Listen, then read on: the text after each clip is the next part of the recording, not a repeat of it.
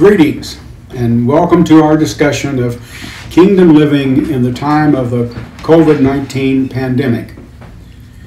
Between around the clock news reports, reports of the number of latest victims of coronavirus, interviews with public health experts, and pundits hashing out the pros and cons of different disease fighting strategies, we're hardly at a loss for information and perspectives on COVID 19.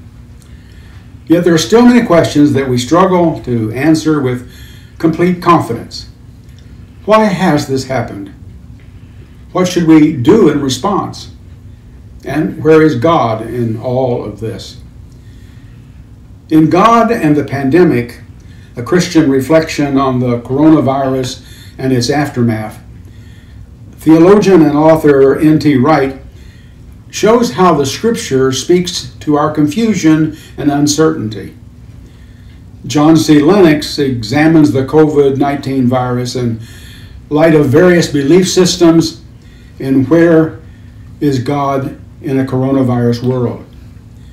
And shows us how the Christian worldview not only helps us to make sense of it, but also offers us real hope to cling to. In our first session, we got started with defining and understanding about the coronavirus and kingdom living. We followed Wright's chapter in session two, reading the Old Testament, by expanding our understanding of the biblical world, and were supplemented in our focus of the importance of lament uh, by the voice of Walter Brueggemann, respected Old Testament scholar and world renowned theologian.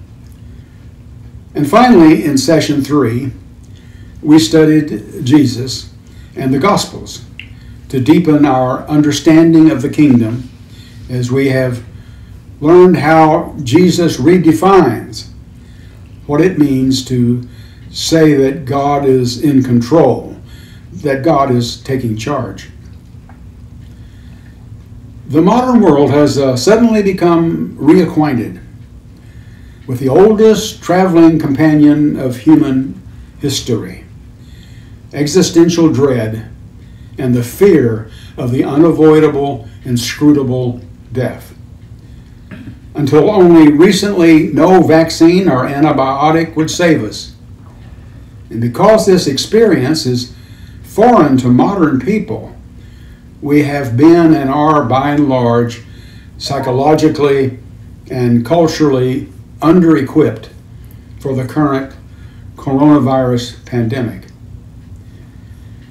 To find the moral resources to tackle COVID 19, both its possible death toll and the fear that stalks our communities alongside the disease, we have to look at the resources built in the past. Christians have handled the plagues of the past, and while people of all faiths and none are facing the disease, the distinctive approach to epidemics Christians have adopted over time is worth dusting off. And so, with Wright and Lennox, we ask what does the rest of the New Testament and in particular the rule of the Holy Spirit, have to teach us about our response to the pandemic. Uh, as Wright notes, the New Testament refers back constantly to the great foundational events of Passover, the time when God rescued Israel from slavery in Egypt. He notes that Jesus himself made Passover central to his work of announcing God's kingdom and to his vocation to go to the cross. What Passover is about, and the Lord's Supper as well is, as Walter Brueggemann says, is the news that we are profoundly cared for in a world under threat. The Christian response to plagues begins with some of Jesus' most famous teachings. Do unto others as you would have them do unto you. Love your enemies and your neighbor as yourself. Greater love hath no man than this, that he should lay down his life for his friends. Put plainly, plainly, the Christian ethic in a time of plague considers our own life must always be regarded as less important than that of our neighbor. N.T. Wright emphasizes the example in the Gospels of Jesus standing at the tomb of Lazarus weeping. Somebody who isn't a Christian might ask, What good is a weeping God? Anybody can weep. What we need is action. We need something done. How does Jesus crying, how does his weeping help? We answer that there is plenty of action in the story, and the action grows out of the tears. In fact, they are the crucial element. They show that the God who made the world, who became human as Jesus of Nazareth, is not sitting upstairs somewhere looking down and saying, Okay, I'll sort out your mess. Rather, he's the God who comes and gets his hands dirty and gets his hands pierced in order to be where we are and to rescue us from there. God has not remained distant from human pain and suffering, but he himself has experienced it. And he continues to do so. In the same way, the Spirit also helps in our weakness because we do not know what to pray for as we should. But the Spirit intercedes for us with unspoken groanings. Because He intercedes for the saints according to the will of God. It's profoundly comforting to know that when I'm grieving, as Paul says in Romans 8, Jesus is grieving with me, and the Holy Spirit is grieving with me. And this is one of the things that marks out the Christian faith as distinct from pretty well any other worldview that I know. What does the rest of the New Testament, and in particular the role of the Holy Spirit, have to teach us about our response to the pandemic?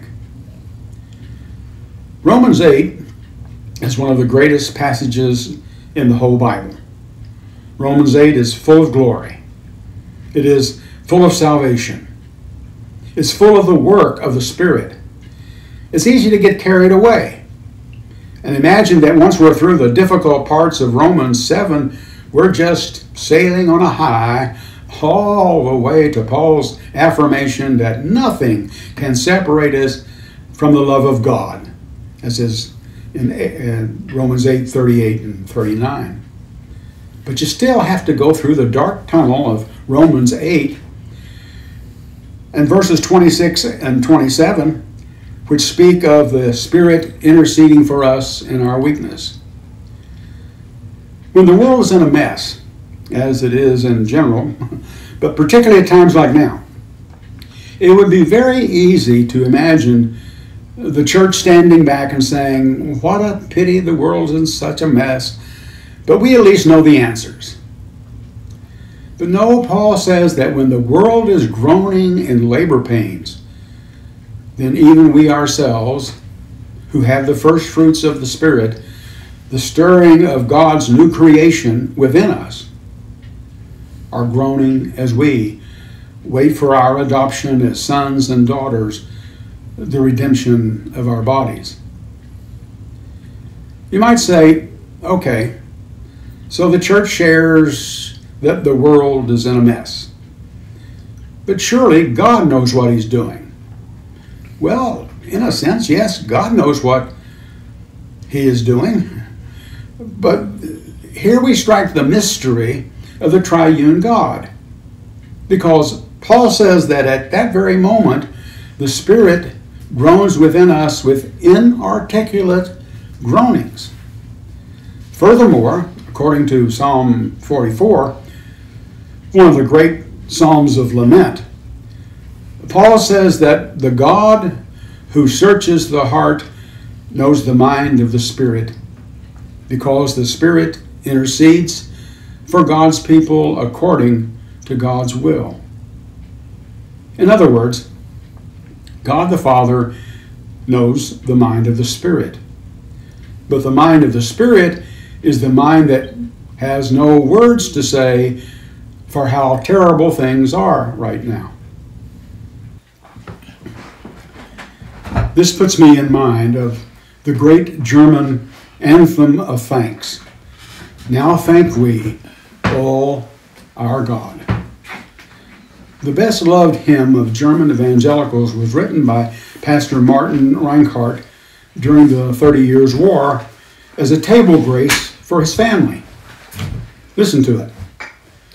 Now thank we all our God with hearts and heads and voices, who wondrous things hath done, in whom this world rejoices, who from our mother's arms hath blessed us on our way with countless gifts of love, and still is ours today. And may this bounteous God through all our life be near us with ever joyful hearts and blessed peace to cheer us. And keep us in God's grace and guide us when perplexed and free us from all ills in this world and the next. The context of his work, not unlike our own, was a scene of relentless death.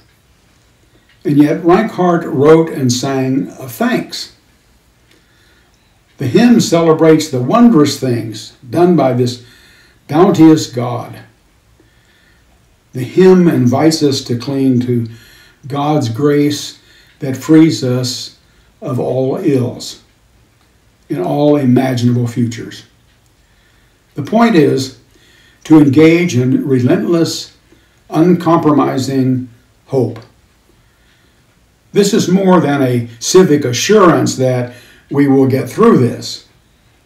It is rather the conviction that God will not quit until God has arrived at God's good intention. There is a purpose to work in, with, under, and beyond our best resolve. The purpose is tenacious, steadfast, and relentless that we and all God's creation will come to well being. The task of the church is to hope in a way that is grounded in the good, faithful resolve of God. Wright leads us to one of the most important passages in our whole quest for understanding how, as followers of Jesus, we should approach the question of the coronavirus. We stand again in awe before one of the greatest chapters of Paul's greatest letters, Romans chapter 8.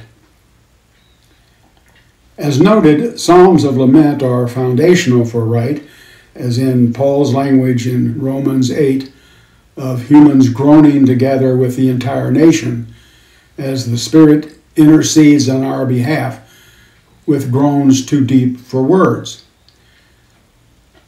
Wright underscores the importance of cries to God that cannot be deciphered and are meaningful precisely as such.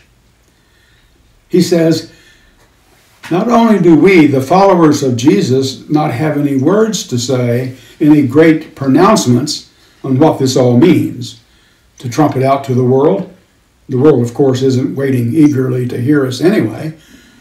But we, the followers of Jesus, find ourselves caught up in the groaning of creation. And we discover that at the same time, God the Spirit is groaning with us and within us. That is our vocation to be in prayer, perhaps wordless prayer, at the point where the world is in pain. This call to prayer, in the midst of what we do not comprehend, remains central to Wright's response. Other meaningful and purposeful work will emerge from the cries of God's people. The work also will entail signs that go beyond words and sighs too deep for them. We are called to be sign producers for God's kingdom, to set as signposts actions, symbols, not just words which speak like Jesus' signs of new creation, of healing for the sick, of food for the hungry, and so on. there are two tensions that run throughout Wright's book. The first is between Wright's moving call for the church to say to serve and heal the world with cruciform love on the one hand, and his claim that this service becomes a sign of Christ's primacy on the other. Wright focuses on Romans 8, verse 28, typically translated as all things work together for good to those who love God. But if he cast it in this way, our consolation in times of crisis would be indistinguishable from the Stoic acceptance that God is in complete control and so things will work out fine, which renders the Greek synergo as God working with Ah, I should say, Wright renders this word, as working with humanity rather than unilaterally for humanity.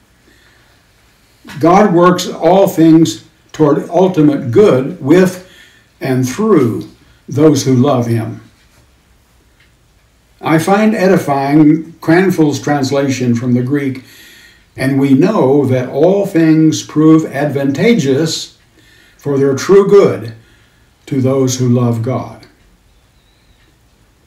Christians are called to hard work teaching, healing, feeding, comforting, caretaking, as you have done to the least of my brethren, knowing that it is God who is at work through them.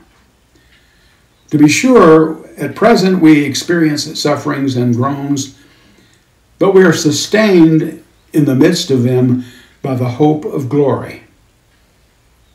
So far, it's only a hope because it's still future, unseen, and unrealized, but it is not on that account uncertain. On the contrary, our Christian hope is solidly grounded on the unwavering love of God. And so the burden of Paul's climax in the is the eternal security of God's people on account of the eternal unchangeability of God's purpose, which is itself due to the eternal steadfastness of God's love. But Wright also insists that this other, regarding work of the church, witnesses to Christ, and this is ultimately about making disciples is the primary rejoinder to those who find biblical signs and wonders in the coronavirus. Wright repeatedly lifts up Jesus as the ultimate sign and sign par excellence of all that the one God has done and the gold standard for how we think about providence, suffering, and new creation. Few Christians, I think, would disagree. A second tension is related. Wright at his best prompts us to suffer faithfully, knowing that in our cries we are comforting, uh, comforted by a wordless advocate working for and with us. He reminds us not to rush, rush past our faithful lament for the pain of the world. Of course, sighing with the Spirit and suffering alongside the Messiah do not entail the final word. Glory awaits. And Wright uses Paul's words of rising with Christ to emphasize a stable of his uh, biblical theology, namely that the end goal, goal is not bodiless life in an ethereal heaven, but a new heaven and a new earth, which is no less bodily or physical for having corruption, death, and decay purged from it.